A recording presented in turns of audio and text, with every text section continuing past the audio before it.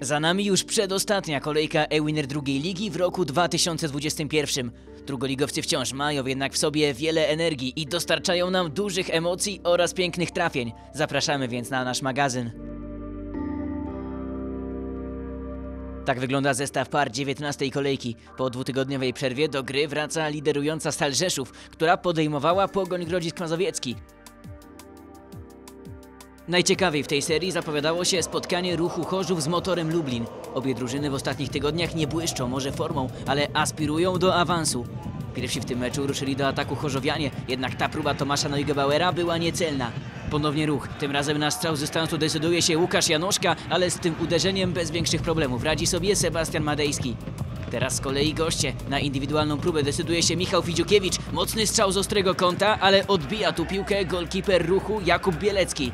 W 37 minucie raz jeszcze zabiera się z piłką Łukasz Janoszka, ale jest faulowany przez Vitinho. To druga żółta kartka dla pomocnika motoru w tym meczu, otrzymana w ciągu raptem 3 minut. Także Brazylijczyk będzie musiał opuścić boisko, a motor przez blisko godzinę grać będzie o jednego mniej. To już fragmenty drugiej części spotkania. Ruch z przewagą jednego zawodnika szuka otwarcia wyniku. Po tym dośrodkowaniu Wójtowicza ma trochę miejsca na lewej stronie Szkatuła. Jego strzał pada jednak łupem bramkarza motoru. Niebiescy nadal są w ofensywie. Tym razem piłka wędruje na prawą stronę. Po tym dośrodkowaniu małe zamieszanie pod bramką motoru. Próbuje dostać się do piłki Tomasz Foszmańczyk, ale wyjaśnia całą sytuację Madejski. Ruch szuka swojego gola do samego końca, ale nie jest w stanie stworzyć sobie groźnej sytuacji pod bramką motoru i ostatecznie rywalizacja dwóch czołowych ekip kończy się remisem. Poczucie straconych punktów może mieć przede wszystkim ruch, który przecież tak długo grał o jednego więcej. W sobotę w samo południe rozpoczęło się spotkanie w Pruszkowie. W ważnym meczu dla układu dolnej części tabeli Znicz mierzył się z GKS-em Bełchatów. Po upływie premierowego kwadransa mocny strzał oddał Shuma Nagamatsu, ale nieznacznie spudłował tu Japończyk. W 38 minucie najlepsza w pierwszej połowie szansa dla gości. Najpierw uderzenie Warneckiego dobrze sparował Misztal, a po chwili zablokowana została także poprawka Gabora. Przed zmianą stron jeszcze jedną szansę wykreował Znicz, ale w doliczonym czasie Pomorski posłał piłkę ponad bramką. To już fragmenty drugiej połowy. W 51 minucie po centrze główkuje flaszka i poprzeczka do spółki z Misztalem ratują Pruszkowian przed utratą gola. 180 sekund później atakuje Znicz. Z pola karnego strzela Tabara, ale dobrze w bramce spisał się Otrzenaszenko. Godzina gry za nami. Oglądamy jeszcze jedną okazję przyjezdnych. Z rzutu wolnego dobrze przymierzył Klabnik, ale równie dobrze wyciągnął się w bramce Misztal. Długo więc utrzymuje się remis bezbramkowy, a w końcówce raz jeszcze sposób na bramkarza Bełchatowian próbował znaleźć Tabara, ale bez skutku. Mimo kilku niezłych szans z obu stron, mecz w Pruszkowie również kończy się bezbramkowym remisem. W iście zimowej scenerii Wigry Suwałki podejmowały w meczu rundy wiosennej KKS Kalisz. Zaczynają mocno gospodarze, ale stojący między słupkami w drużynie z Kalisza Maciej Krakowiak był tutaj czujny. To już 27 minuta i rzut rożny dla miejscowych. Technicznym strzałem popisuje się Mikołaj Łabojko i mimo ofiarnych interwencji gości piłka zatrzymuje się dopiero w siatce. Pierwsza połowa zdecydowanie dla gospodarzy, którzy prowadzą 1 do 0. W drugiej połowie szybko jednak miejscowi poprawiają swoją sytuację. Dobre podanie pomiędzy dwóch obrońców do wychodzącego na czystą pozycję Mariusza Rybickiego, a ten nie ma większych problemów z umieszczeniem piłki w siatce. Kaliszanie budzą się z tego zimowego snu dopiero po niespełna godzinie gry. Ma trochę miejsca w tej sytuacji przed polem karnym Mateusz Wysokiński i tylko słupek po tym strzale ratuje miejscowych. Nadal więc 2 do 0 dla Wigier, a goście po stracie drugiego gola zaczęli grać zdecydowanie aktywniej. Tu kolejna próba i niewiele zabrakło wprowadzonemu na boisko w drugiej połowie Kamilowi Koczemu. Ponownie słupek ratuje Wigry. Gospodarze skupieni przede wszystkim na defensywie, ruszają jednak z kontrą. To 83 minuta spotkania. Płaskie dośrodkowanie Kacpra Michalskiego, piłkę odbija przed siebie Krakowiak, a na taki prezent tylko czyhał Kacper Zaborski. Trzecia bramka dla Wigier w samej końcówce spotkania. Goście próbują do samego końca zdobyć choćby honorową bramkę, ale w Suwałkach to było ponad ich siły. Wigry wygrały 3 do 0 i zrewanżowały się za minimalną porażkę z pierwszej rundy. Teraz wędrujemy do Krakowa na suche stawy. Na starcie z Hutnikiem przyjechała Olimpia Elbląg, która zamierzała przerwać pasę czterech z rzędu meczów bez zwycięstwa. Pierwsza połowa należała do gości z Elbląga. Już w 12 minucie dobrą akcję Olimpii skutecznie sfinalizował Jan Sienkiewicz i po golu Białorusina goście wyszli na prowadzenie. W 23 minucie mogło być już 2 do 0, po tym jak piłkę do siatki skierował Kamil Węgier, ale obrońca przyjezdnych znajdował się na spalonym. Niedługo potem przed kolejną szansą stają jednak jego koledzy. W 35 minucie, tym razem po rzucie rożnym i centrze Sienkiewicza, świetnym strzałem głową popisał się inny ze środkowych obrońców, Michał Czarny i zrobiło się 2 do 0. Prowadzenie Olimpii mogło być nawet jeszcze wyższe, ale tej sytuacji jeszcze przed przerwą nie zdołał wykorzystać Kurbiel. Na początku drugiej odsłony znów próbuje zespół z Elbląga. Tym razem groźnie strzelał Sienkiewicz, ale świetnie w bramce spisał się Frasik. W kolejnych fragmentach do głosu dochodzi wreszcie Hutnik. Najpierw strzał Świątka został zablokowany i wylądował w rękach Dudka. Następnie bramkarz gości poradził sobie z próbą Wilczyńskiego. Najbliżej celu w 65 minucie był jednak Kieliś, ale jego mocny strzał ostemplował poprzeczkę. Wreszcie z rzutu wolnego uderzał też Kędziora, ale znów na posterunku był młodzieżowiec w bramce Olimpii. W 76 minucie po serii strzałów Hutnika z szybką akcją ruszyli przyjezdni, po której formalności dopełnił Szymon Stanisławski i stało się jasne, że trzy punkty pojadą do Elbląga. W doliczonym czasie Olimpia mogła jeszcze postawić kropkę nad i, ale przełamanie po zwycięstwie 3 do 0 i tak nie pozostawia pola do narzekania. Sokół Ostruda do meczu z faworyzowaną Chojniczanką przystępował z pewnymi nadziejami po ostatniej wygranej w Grodzisku Mazowieckim. Pierwsza sytuacja od razu kończy się jednak golem dla gości. Autorem samobójczego trafienia Jan Klimek. Chojniczanka od pierwszych minut atakuje i próbuje pójść za ciosem. Teraz w biegu dobrze dośrodkowuje Łukasz Wolsztyński i precyzyjnym strzałem popisuje się Michał Mikołajczyk. Fantastyczne było to otwarcie gości 2 do 0, a nie minął nawet kwadrans gry. Gospodarze budzą się dopiero po kilkunastu minutach. Piłkę w polu karnym dostaje Gian Mendes. Dobry zwód pomocnika Sokoła, ale strzał był już niecelny. Jak kończyć takie akcje, pokazują natomiast goście. Kontra Chojniczanki, piłkę wykłada Kamil Mazek, a strzał sama Van Kufela jeszcze po rykoszecie wpada do siatki. Po 24 minutach jest 0 do 3, a to miejscowi. Tym razem indywidualna próba Jakuba Żyznowskiego, ale młody napastnik gospodarzy nie był w stanie pokonać Kamila Brody. To już druga połowa i akcja zespołu trenera Kafarskiego. Goście ruszają z kontrą na prawej stronie. Źle zabierał się jednak do strzału Mateusz Klichowicz, a przy próbie dobitki minimalnie spóźniony był Artur Pląskowski. Gospodarze również nie zamierzają rezygnować z walki o zmianę tego niekorzystnego wyniku, choć to już końcowe fragmenty tego spotkania. Piłka po tym strzale w polu karnym odbija się od ręki Damiana Byrtka i arbiter wskazuje na rzut karny. Szansa dla Sokoła, którą wykorzystuje po chwili Patryk Skórecki. Kapitan gospodarzy przywraca jeszcze na chwilę nadzieję miejscowym, ale goście nie dopuszczają do groźnych sytuacji pod własną bramką. Sami natomiast również szukają gola. Tu fantastyczną okazję ma Marcin Trojanowski na raty, ale nie udaje mu się pokonać bramkarza Sokoła. W kolejnej próbie inny zmiennik, Szymon Emche, już się nie myli i Chojniczanka pieczętuje w ten sposób swoje zwycięstwo. W Ostrudzie goście wygrywają 4 do 1. Trudne zadanie czekało Garbarnie. Krakowianie wybrali się na teren Beniaminka do Stężycy, gdzie Radunia tylko dwukrotnie zgubiła do tej pory punkty. Ekipa z Małopolski szybko pokazuje jednak, że nie chce być kolejnym dostarczycielem punktów.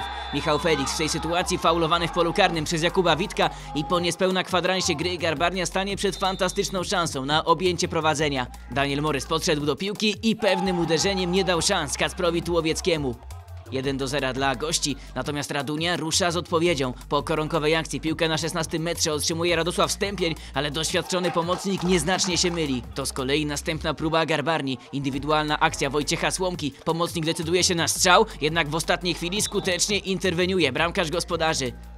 Do przerwy więc minimalne prowadzenie gości, natomiast druga połowa rozpoczyna się podobnie jak pierwsza, od małego wstrząsu dla Beniaminka. To pierwsza akcja po wznowieniu gry. W doskonałej sytuacji znajduje się Michał Felix, ale nie wykorzystuje tej okazji sam na sam z Tułowieckim.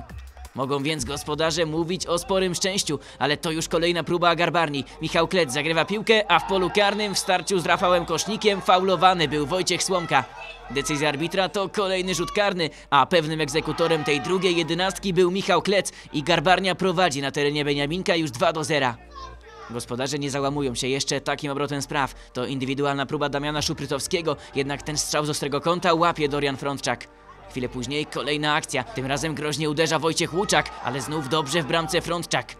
Gospodarze usilnie walczyli o zmianę rezultatu, choć w samej końcówce to goście mogli jeszcze przypieczętować swoje zwycięstwo. Nie było jednak większych powodów do rozpamiętywania tej zmarnowanej okazji, bo Garbarnia jako druga ekipa w tym sezonie wygrywa mecz w Stężycy. Na teren rozpędzonego lidera do Rzeszowa zawitała tym razem Pogoń Grodzisk Mazowiecki, która przed tygodniem przegrała z ostatnim w tabeli Sokołem Ostruda. Faworyt przed tym meczem był więc jasny, no ale to pierwsza akcja gości. Z kontrą rusza Kolumbijczyk Sarmiento. Defensywa Stali nie popisuje się w tej sytuacji, ale na szczęście dla gospodarzy napastnik Pogoni również się myli. Dobrze radzi sobie zespół Beniaminka w pierwszych minutach, no ale przydarzają się też błędy. To 20 minuta, gdy piłkę do siatki pakuje Damian Michalik, który futbolówkę otrzymał przy tym golu od rywala, a i Artur Haluk nie popisał się w tej sytuacji. 1 do 0 dla Stali, a tutaj kolejny błąd gości. Tym razem przed szansą staje młody Rosjanin Ramil Mustafajew, ale on nie trafia już w światło bramki. To fragmenty drugiej części tego spotkania. 55 minuta. Po tym rzucie rożnym, precyzyjnym strzałem tuż przy słupku popisuje się Dominik Marczuk. Lider prowadzi już dwiema bramkami, ale na tym Stal nie chce poprzestać. Teraz bliski zdobycia bramki był Bartomiej Poczobut, jednak fantastycznym refleksem popisał się tu Haluch. Kolejna próba miejscowych lewą stroną. Tym razem Andrea Prokicz wykłada piłkę jak na tacy Rafałowi Maciejewskiemu, ale zmiennik Stali fatalnie pudłuje. To kolejna akcja tego duetu i kolejny raz przed szansą na gola Maciejewski. Wykończenie jednak, tak jak kilka chwil wcześniej, pozostawiało sporo do życzenia. A to już próba pogoni. Nieporozumienie w szeregach gospodarzy wykorzystuje Sarmiento i na niespełna 10 minut przed końcem spotkania Pogoń zdobywa gola kontaktowego. Gospodarze nie dali jednak wydrzeć sobie prowadzenia, a w ostatniej akcji meczu postawili jeszcze kropkę nad i. Bramka została zapisana jako trafienie samobójcze Michała Zimera, a Stal Rzeszów kończy mecz z trzema zdobytymi golami i co najważniejsze, trzema kolejnymi punktami. W niedzielę grano we Wrocławiu, gdzie rezerwy Śląska podejmowały Pogoń Siedlce.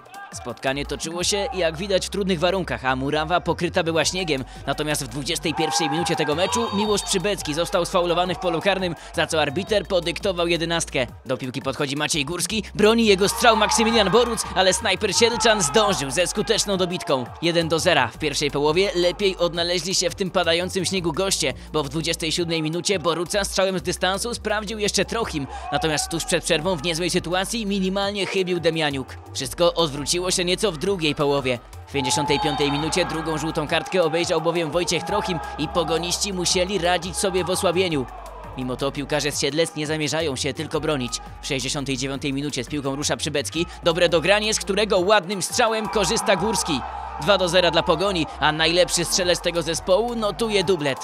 Śląsk otrzymał drugi cios, ale nie zamierzał się poddawać. W 77 minucie groźnie z rzutu wolnego strzela wypart, jednak dobrą paradą popisuje się tu Klebaniuk. Kilka minut później jeszcze jedna próba Wrocławian, próba, którą skutecznie kończy Przemysław Bargiel. Gospodarze wracają więc do gry i do końca walczą o choćby jeden punkt. Na kolejnego gola zabrakło im już jednak czasu i Pogoń wreszcie wygrała na wyjeździe, dzięki czemu odskoczy również od strefy spadkowej. Kolejkę zamknęliśmy w Puławach. Wisła gościła świetnie spisujące się w tym sezonie rezerwy Lecha Poznań. W siódmej minucie pierwszy strzał gości, gdy szczęścia szukał Kriwiec i niewiele się pomylił. Drugie podejście w minucie 14. Za pola karnego do strzału składa się Tymoteusz Klubsz i on przymierzył już idealnie. Piłka trafiła w samo okienko bramki i poznaniacy objęli w ten sposób prowadzenie. 6 minut później mogło być już 2 do 0, ale gospodarze zdołali wybić piłkę z linii bramkowej. To z kolei 22 minuta. Pierwsza groźna okazja Wisły po błędzie defensywy Lecha. Przed szansą stanął Drozdowicz, ale przeniósł piłkę ponad poprzeczką. Przed przerwą jeszcze jedna szansa dla Wisły. Centra z narożnika. Piłka trafia do Emila Drozdowicza, który tym razem doprowadza już do wyrównania. Dla rezerw Lecha to pierwszy stracony gol od przeszło 400 minut. Na początku drugiej połowy odpowiada zespół kolejorza. W 47 minucie po zagraniu klubsia do piłki dopada Filip Borowski i obrońca przyjezdnych strzela swojego pierwszego gola w sezonie. Lech ponownie jest więc na prowadzeniu, a 120 sekund później podopieczni Artura Węski mogli pójść za ciosem, po tym jak niewiele po strzale przewrotką chybił Kriwiec.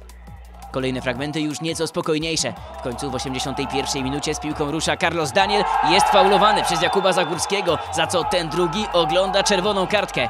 Poznaniacy będą więc grać w osłabieniu, no a Wisła napiera coraz mocniej. Najpierw kapitalna interwencja po strzale Drozdowicza, którą popisał się Miłosz Mleczko, a chwilę później golkiper gości zatrzymał także uderzenie Lisowskiego. Wisła do końca walczyła o remis. W doliczonym czasie Ed Nilsson zdołał nawet skierować futbolówkę do siatki, ale ten gol nie został uznany. Rezerwy Lecha kontynuują dobrą serię i odnoszą cenne zwycięstwo.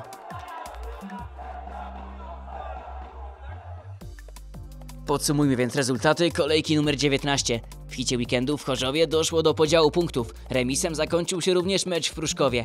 Komplet oczek na wyjazdach dopisały Chojniczanka, Pogoń, Olimpia, rezerwy Lecha oraz Garbarnia. Z kolei u siebie wygrał lider oraz Wigry.